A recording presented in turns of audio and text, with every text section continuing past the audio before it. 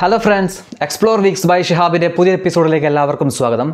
ഇന്ന് ഞാൻ പറയുന്നത് ഇയോൻമി പാർക്ക് എന്നുള്ളൊരു കൊറിയൻ വനിതയെ പറ്റിയാണ്. അതായത് ഒരു പതിമൂന്ന് വയസ്സുള്ള ഒരു പെൺകുട്ടി കൊറിയയിൽ നിന്ന് രക്ഷപ്പെട്ടോടിയ വളരെ തീക്ഷ്ണമായ ഒരുപാട് അനുഭവങ്ങളും കൊടിയ പീഡനങ്ങളും നേരിട്ടുകൊണ്ട് കൊറിയ എന്നുള്ള രാജ്യത്തിൽ നിന്നും പുറത്തോടി വന്ന ഇയോൻമി പാർക്ക് എന്നുള്ള ഒരു പെൺകുട്ടിയുടെ ഒരു കഥയാണ് ഇന്ന് ഞാൻ നിങ്ങളോട് പറയാൻ പോകുന്നത്. അതിനു മുമ്പ് എന്റെ ചാനൽ ഇതുവരെ സബ്സ്ക്രൈബ് ചെയ്യാത്തവരോട് ദയവായി സബ്സ്ക്രൈബ് ചെയ്യാൻ ഞാൻ അഭ്യർത്ഥിക്കുന്നു.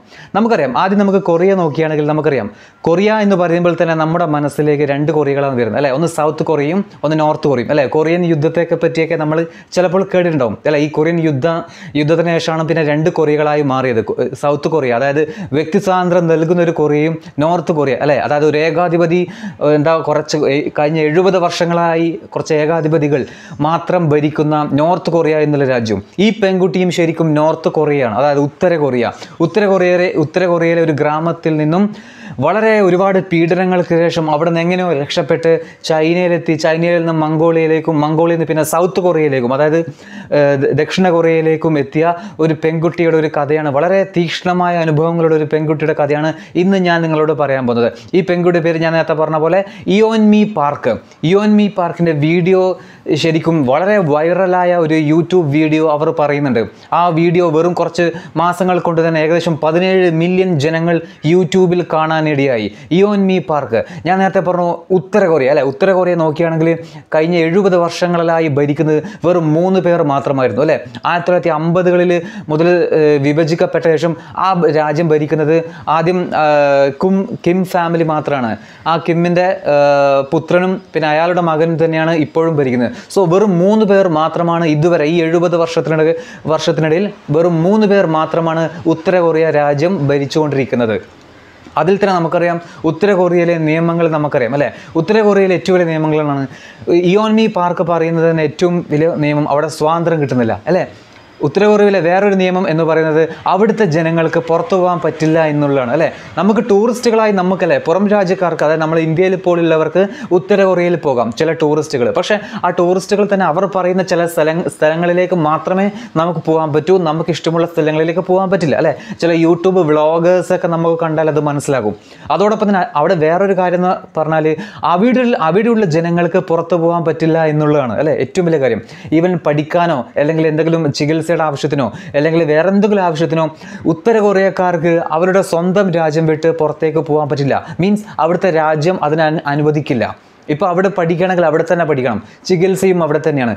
ഇനി വല്ല ഒളിമ്പിക്സ് അല്ലെങ്കിൽ വേൾഡ് കപ്പ് തുടങ്ങിയ ആവശ്യങ്ങൾക്ക് കായിക താരങ്ങൾ പുറത്തേക്ക് വരുന്നതല്ലാതെ ഒരു കാരണവശാലും ഉത്തര കൊറിയയിലെ ജനങ്ങൾക്ക് അവരുടെ സ്വന്തം രാജ്യം വിട്ട് പുറത്തേക്ക് പോകാൻ പറ്റില്ല. സോ ഇതുപോലെ നോക്കിയാണെങ്കിൽ ഇത് ഇത് ഇങ്ങനെ ഉത്തര കൊറിയയിലെ ഒരു സാധാരണ ഒരു വില്ലേജിൽ ജനിച്ച ഒരു പെൺകുട്ടിയാണ് ഇയോൻ മീ പാർക്ക്. ഇയോൻ മീ പാർക്ക് ജനിച്ച മുതൽ കാണുന്നത് അവരുടെ അവിടെയുള്ള ദൈവം എന്ന് പറയുന്നത് അവിടുത്തെ ഏകാധിപതികളാണ്. അതായത് ഏകാധിപതിയായ കിമ്മിന്റെ family Kim Kim Jong Un തുടങ്ങിയവരൊക്കെയാണ് അവിടുത്തെ അവരുടെ ദൈവങ്ങൾ. ഈ കിം ജോങ് ഉന്നിനെ പറ്റിയുള്ള എന്താ പറയുക പ്രശസ്തിയും അവരുടെ പ്രോത്സാഹിപ്പിക്കലും അവരുടെ ആ എന്താ പറയുക അവരെ അവരെ പ്രോത്സാഹിപ്പിക്കുന്ന അല്ലെങ്കിൽ അവരെ എന്താ പറയുക പ്രശംസിക്കുന്ന അല്ലെങ്കിൽ സ്തുതി പാടുന്ന ഇത് മാത്രമാണ് എല്ലാത്തിലും ഈ പെൺകുട്ടി കണ്ടുവരുന്നത് ഈവൻ സ്കൂളിലായാലും. അതിനുവേണ്ടിയുള്ള ഒരുപാട് ബ്രെയിൻ വാഷിംഗ് സെന്ററുകൾ അവിടെയുണ്ട്. അതായത് കിം ജോങ് ഉന്ന ദൈവമാണ് അവ അവൻ അയാൾ മാത്രമാണ് അവിടുത്തെ നേതാവ്. അങ്ങയുടെ മാത്രം അനുസരിക്കുക എന്ന് പറഞ്ഞു കൊടുക്കുന്ന ഒരുപാട് ബ്രെയിൻ വാഷ് ബ്രെയിൻ വാഷ് അതായത് നമ്മുടെ എന്താ പറയുക മസ്തിഷ്ക മാറ്റം എന്നൊക്കെ നമുക്ക് പറയാം. സോ നമ്മൾ ബ്രെയിൻ വാഷ് ചെയ്ത് ആ രീതിയിൽ എത്തിക്കുന്ന ഒരുപാട് സെന്ററുകൾ അവിടെയുണ്ട് എന്നാണ് ഇയോൻമി പാർക്ക് പറയുന്നത്. ഇയോൻമി പാർക്ക് ഒരു വേദിയിൽ വളരെ കണ്ണ് നിറ നിറഞ്ഞുകൊണ്ട് ഒരു പ്രസംഗം നമുക്ക് ഞാൻ നേരത്തെ പറഞ്ഞ പോലെ യൂട്യൂബിൽ നിങ്ങൾ കാണാം. എന്താണ് ആ പെൺകുട്ടി പറയുന്നത്? ആ പെൺകുട്ടി പറയുന്നത് ഉത്തര കൊറിയയിൽ ഒരു ആകെയുള്ളത് ഒരു മൂന്ന് ടെലിവിഷൻ ചാനലുകൾ മാത്രമാണ്. അവിടെ ഇന്റർനെറ്റ് ഇല്ല ഇന്റർനെറ്റ് അവിടെയുള്ള ചില ഉദ്യോഗസ്ഥർക്കും ഗവൺമെന്റ് ഒഫീഷ്യൽസിനും മാത്രം ഉപയോഗിക്കാനുള്ളതാണ്. ഈവൻ മൊബൈൽ ഫോൺ പോലും വളരെ റെസ്ട്രിക്ഷൻസ് ആയിട്ട് മാത്രമേ കൊടുക്കുന്നുള്ളൂ. അതോടൊപ്പം തന്നെ അവിടെ വേറൊരു മതത്തിന് അവിടെ അവിടെ സ്ഥാനമില്ല. വേറൊരു കാര്യം പ്യോങ്യാങ് അതായത് ഈ ഉത്തര കൊറിയയുടെ തലസ്ഥാന നഗരിയിൽ വന്ന് ജോലി ചെയ്യുന്നതിന് ഗവൺമെന്റിന്റെ പ്രത്യേക അനുമതി വേണം. ഗവൺമെന്റിന്റെ അനുമതി ഉള്ളവർ മാത്രമേ ഈ തലസ്ഥാന നഗരി അതായത് നോർത്ത് കൊറിയയുടെ തലസ്ഥാനത്ത് വന്ന് ജോലി ചെയ്യാൻ പറ്റൂ. അവിടെ ഒരു പ്രണയമോ ലവ് എന്താ പറയുക ലവ് ഒന്നുമില്ല. ഒരു ടൈറ്റാനിക്കിലെ ഒരു എന്താ പറയുക ജാക്ക് ആൻഡ് റോസ് അല്ലെങ്കിൽ ജൂലിയറ്റോ ജൂലിയൻ പോലെയുള്ള ആൾക്കാരോ അല്ലെങ്കിൽ പ്രണയം നമ്മൾ വായിക്കുന്ന പ്രണയകഥയിലെ നായകന്മാരോ നായികമാരോ ഒന്നും തന്നെ അവിടെ ഇല്ല. അവിടെ ഒരു എന്താ പറയുക ഒരു റൊമാൻസ് സീനും ഉത്തര കൊറിയയിൽ കാണാൻ പറ്റില്ല. ശരിക്കും ഒരു സ്നേഹം നിഷേധിച്ച പോലെയാണ് അവിടുത്തെ ഞങ്ങളുടെ അവസ്ഥ എന്നാണ് ആ പെൺകുട്ടി പറഞ്ഞത്. ഇതോടൊപ്പം തന്നെ അവിടെ ഒരുപാട് വ്യക്തി സ്വാതന്ത്ര്യമില്ല ഒരു അഭിപ്രായ സ്വാതന്ത്ര്യമില്ല. ഒരു ഹോളിവുഡ് സിനിമ കണ്ടതിന്റെ പേരിൽ തന്റെ സുഹൃത്തിന്റെ അമ്മയെ അവിടെ വെടിവെച്ച് കൊന്നു. ഒരു ഹോളിവുഡ് സിനിമ കണ്ടതിന്റെ പേരിൽ. അതോടൊപ്പം തന്നെ ഇഷ്ടം എന്താ പറയുക നമുക്ക് ഇഷ്ടമുള്ള രീതിയിൽ നമുക്ക് മുടി മുറിക്കാനോ ഭക്ഷണം കഴിക്കാനോ പറ്റില്ല. ഗവൺമെന്റ് പറയുന്ന രീതിയിൽ മാത്രമാണ് അവിടെ മുടി മുറിക്കാൻ പറ്റുക. ഈവൻ സ്ഥലം സന്ദർശിക്കുന്നതിന് പോലും ഗവൺമെന്റിന്റെ ഒരുപാട് റെസ്ട്രിക്ഷൻസ് ഉണ്ട്. ഇങ്ങനെ നൂറുകണക്കിന് നിയമങ്ങൾ തലക്ക് ചുറ്റും പെരുപ്പിച്ച് നടക്കുന്ന ഒരു രാജ്യത്ത് ജീവിക്കേണ്ടി വന്ന ഒരു പെൺകുട്ടിയാണ് ഞാൻ പറഞ്ഞ ഇയോൻ മീ ഇയോൻ ഇയോനി പാർക്ക് എന്നുള്ള പെൺകുട്ടി. സോ പെൺകുട്ടിക്ക് ആ പെൺകുട്ടി ഒരു പതിമൂന്ന് വയസ്സ് കഴിഞ്ഞപ്പോൾ ആ പെൺകുട്ടിയും പെൺകുട്ടിയുടെ അച്ഛനും അമ്മയും തീരുമാനിച്ചു. എങ്ങനെയും നോർത്ത് കൊറിയ വിടുക. കാരണം ഈ രാജ്യം ഒരു നരകമാണ്. ഈ രാജ്യത്ത് നിൽക്കാൻ പറ്റില്ല.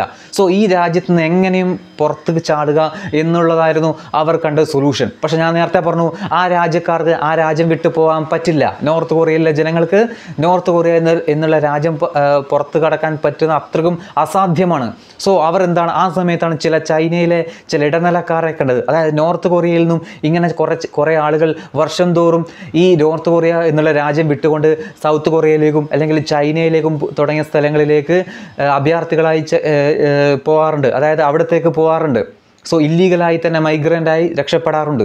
സോ ഇങ്ങനെയുള്ള ഒരു ഏജന്റിനെ കണ്ടുപിടിച്ചു. ഈ ഏജന്റ് വഴി അവർ ആദ്യം ഉത്തര കൊറിയയുടെ ബോർഡർ വളരെ രഹസ്യമായി കടക്കുകയും അവർ ചൈന ലക്ഷ്യമാക്കി നീക്കി. ചൈനയിലെത്തിയപ്പോൾ ചൈനയിലെ ബ്രോക്കർ പറഞ്ഞു എനിക്ക് ഇത്ര പൈസ തരണം. അതായത് യാത്രയുടെ മധ്യേ പറഞ്ഞു എനിക്ക് ഇത്ര പൈസ തന്നാൽ മാത്രമേ ഇനി ഞാൻ മുന്നോട്ട് മുന്നോട്ട് നിങ്ങളെ കൊണ്ടുപോകൂ എന്ന് ചൈനയിലെ ആ ബ്രോക്കർ ആ ഏജന്റ് പറഞ്ഞു. സോ ഇയോൻമി പാർക്കിന്റെ മാതാപിതാക്കൾക്ക് ആ ഏജന്റ് പറയുന്ന പൈസ കൊടുക്കാനുള്ള കൈവശം ആ പൈസ ഉണ്ടായിരുന്നില്ല. അപ്പോൾ ഇയോൻ ആ ഏജന്റ് പറഞ്ഞു എനിക്ക് പൈസ വേണ്ട പക്ഷേ എനിക്ക് നിങ്ങളെ മകളെ മതി. എനിക്ക് നിങ്ങളെ മകളെ ബലാത്സംഗം ചെയ്യണം. ശരിക്കും അവിടെ നമുക്ക് ഒരു മാതാപിതാക്കൾക്ക് എന്താ തോന്നുന്നത് അല്ലേ? സ്വന്തം പെൺമക്കളെ ബലാത്സംഗം ചോദിക്കുന്നു.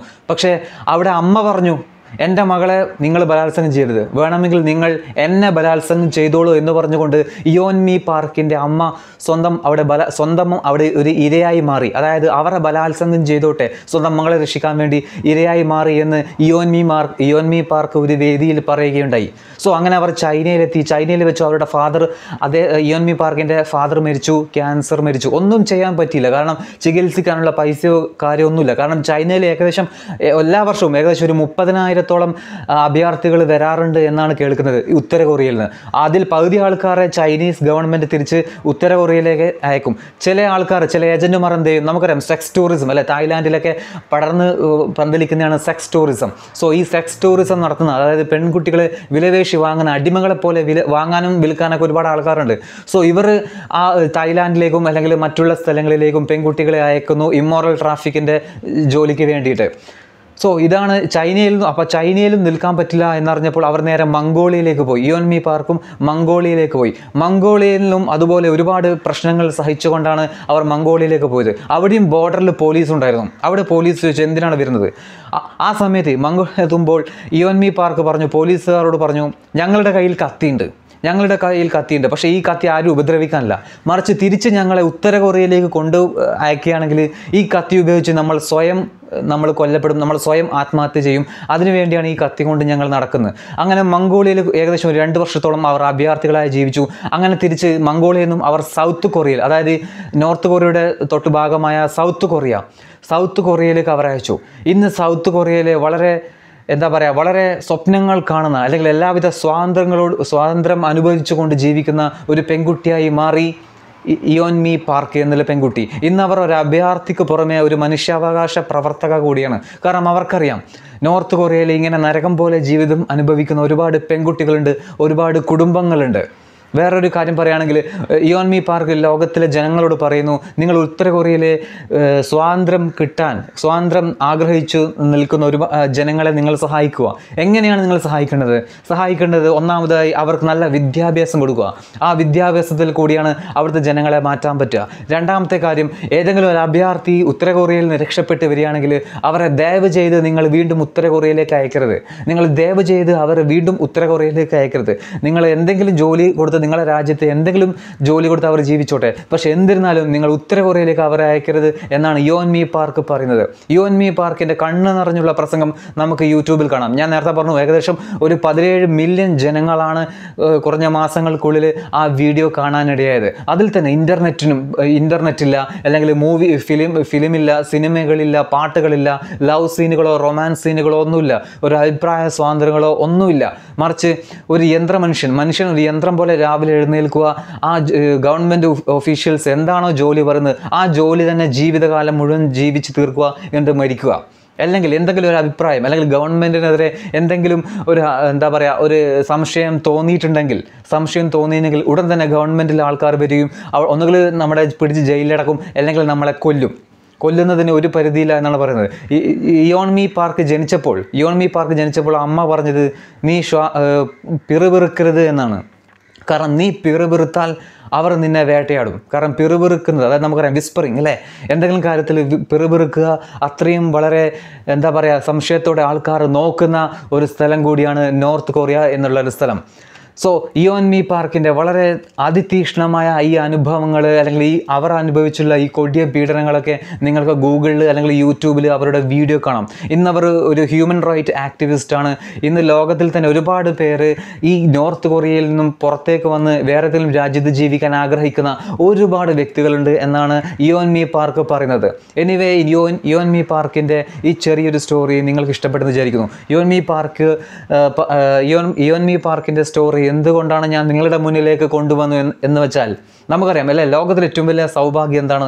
എന്നോട് ചോദിച്ചാൽ എന്നോട് ചോദിച്ചാൽ ലോകത്തിലെ ഏറ്റവും വലിയ അനുഗ്രഹം അല്ലെങ്കിൽ ലോകത്തിലെ ഏറ്റവും വലിയ സൗഭാഗ്യം ഏതാണെന്ന് ചോദിച്ചാൽ അത് ഫ്രീഡം തന്നെയാണ് അല്ലേ? സുഹൃത്തുക്കളെ സ്വാതന്ത്ര്യം അല്ലെ? ഫ്രീഡം തന്നെയാണ്. നമുക്ക് സഞ്ചരിക്കാനുള്ള സ്വാതന്ത്ര്യം ഇഷ്ടമുള്ള ഭക്ഷണം കഴിക്കാനുള്ള സ്വാതന്ത്ര്യം ഇഷ്ടപ്പെട്ട വസ്ത്രം ധരിക്കാനുള്ള സ്വാതന്ത്ര്യം ഇഷ്ടപ്പെട്ട മതങ്ങളിലേക്കും ഇഷ്ടപ്പെട്ട വ്യക്തികളോട് സംസാരിക്കാനുള്ള സ്വാതന്ത്ര്യം. അങ്ങനെ ഒരുപാട് സ്വാതന്ത്ര്യം കിട്ടു കിട്ടുന്നതാണ് ഏറ്റവും വലിയ സൗഭാഗ്യം. സോ ഈ യോൺ മീ പാർക്കിന്റെ ചെറിയ സ്റ്റോറി നിങ്ങൾക്ക് ഇഷ്ടപ്പെട്ടു എന്ന് വിചാരിക്കുന്നു.